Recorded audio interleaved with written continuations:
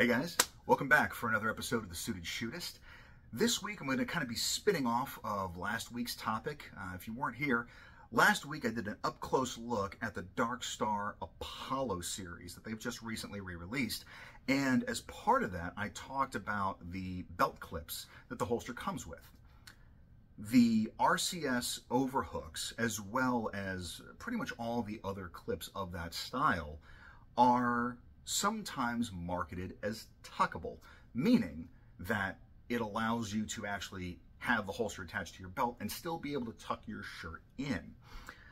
While that is a technically correct statement, virtually all of them fall short. And I'm going to talk about why. Because, with the exception of one, they all still are designed to go over your belt. And I'm wearing it right now, so let's just take a look at the problem. I don't care who you are, this ain't normal. And especially when you are trying to pass off an otherwise sort of socially average outfit. I mean, this is one of the most nondescript things that I can realistically think about wearing. I mean, white button-up shirt, dark blue jeans. Uh, this is almost fail-safe. You know, it's kind of like the, the navy polo and tan chinos. There's almost nowhere where this is inappropriate. So, because this is so run-of-the-mill, this deviates from the norm enough to where someone is going to see that and to steal a line from legendary lawman Marshall Chuck Haggard, their brain's going to go, that shit ain't right. and this is where I think a lot of people have a misconception because there is a very impassioned debate within the concealment space about how much printing matters. I refuse to engage in the debate of whether or not it matters because there's just too much documented evidence that it does. The question is to what degree in a given circumstance. And if you follow me on my Facebook page, I had actually made a post about this a few days ago. Bringing it back. Um, so, the idea being is that if you are in an environment that necessitates having to tuck your shirt in, then there's already a, a standard template that's been established for what people are expecting to see. And when you deviate from that with something like this, it is going to raise questions. No ifs, ands, or buts about it.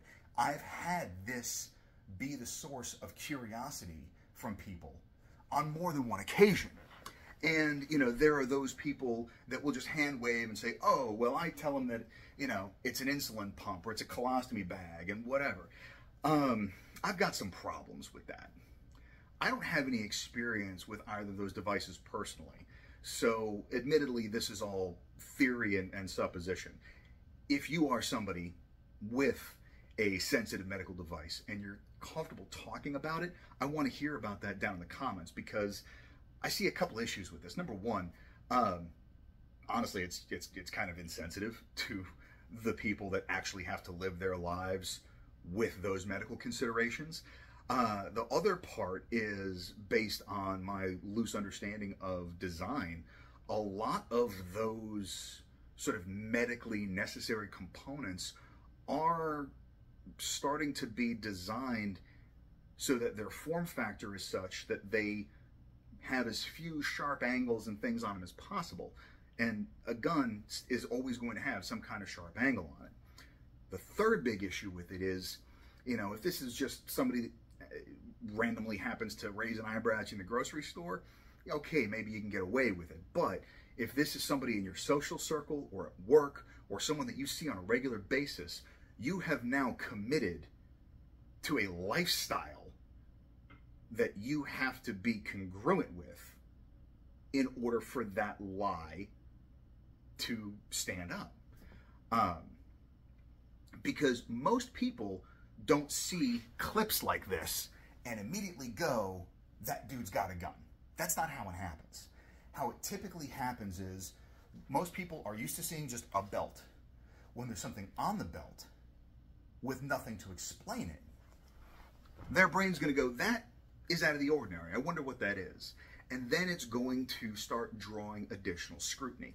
Now, theoretically, if it was literally just this, maybe I could get away with the clips. But if I've got these clips and say pepper spray in this pocket and say a flashlight in this pocket and say a tourniquet hanging out of my back pocket, all of a sudden that starts painting a much more obvious picture for people. And so that is my big grievance with the concept of tuckable clips. Because even if you were to take these and you were to attempt to run either them or the, uh, the discreet carries behind the belt, they're still, I mean, they're considerably less noticeable. But over the course of the day, as you move around, they are going to become exposed to some degree. And then you still run into that same issue of deviating from somebody's norm and potentially drawing that additional scrutiny. I mentioned that there's one of these that actually executes well. And Discreet Carry Concepts, to their credit, makes an entire line of behind the belt clips. I've got some kicking around here somewhere. Um, I don't know where they are, but basically, instead of them having this long tab, since they don't have to clear a belt, the tab itself is maybe an inch wide, and so it literally just attaches to the fabric of the pants, and I'll concede, those hide pretty damn well behind a belt. So if you are not going to be running an Enigma, that is definitely your best bet for a tuckable style of holster. There's a couple of considerations though. Number one is the, the little teeth on those uh, discreet carry concepts clips grab exceptionally well. The drawback is that they grab exceptionally well. And if you're wearing them with any degree of regularity, they are eventually going to tear up the fabric of whatever waistband you're hooking them onto. Uh, the other challenge is not really an issue with the clip itself, but because the clip is only attaching to the fabric of the pants, then at that point the fabric of the pants is really the primary thing that is supporting the weight of the gun. And so, you know, you're, you're now increasing the PSI essentially, and there can be a potential to snag. One way to prevent this is if your pants fit properly. Because, and I've talked about this before, ideally, when you are attaching a holster to the waistline of whatever it is that you're wearing, this little band of fabric should not be the sole attachment point where everything is making contact. Because right now, with these jeans, I've got the actual clips that are attached to the holster, but this is also hugging me enough that the fabric is pulling the holster into my body. And so there is a certain degree of friction that exists to where the, the, the pressure created by the fit of the pant against my body and the, the holster being sandwiched there is primarily what is holding everything in place. And the clips now, instead of having to bear the entire loaded weight of the gun, really are just having to kind of anchor it so that it doesn't drift vertically. So those are some of the considerations.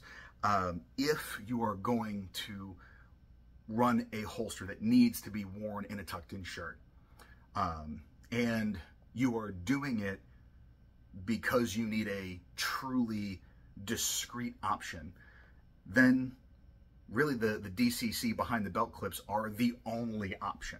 I'm not even willing to, to sign off on, on saying that these work because they, frankly, they don't. Um, unless you are strictly concealing out of sort of courtesy or formality, and honestly, the only time I could see that being the case is if you are armed as part of your job And so you're trying not to be overt about it, but you don't necessarily have to be undetectable. Then um, at that point, okay, maybe it'll fly if the uh, you know if the concealment goal that you have is simply not to, as Massad would say, scare the horses. Um, but realistically, for the civilian defender, for those of us uh, for whom being armed is not part of the job, and it's purely there in sort of the uh, the counter robbery type of uh, of posture. If you need to tuck your shirt in, the DCC behind the belt clips are the solution. All these other ones, they can be marketed as tuckable, but they ain't. The only benefit is the, the structural element of it that I talked about in last week's video, where it's just more forgiving on the holster body to have a lower attachment point than one uh, with like one big over, you know, over clip. So something to think about because at the end of the day, we don't know what people notice unless they actually express it to us. And a lot more people notice than talk about it. I was talking with a, friend of mine and, and he made a point. Um, there's a difference between people noticing and people caring.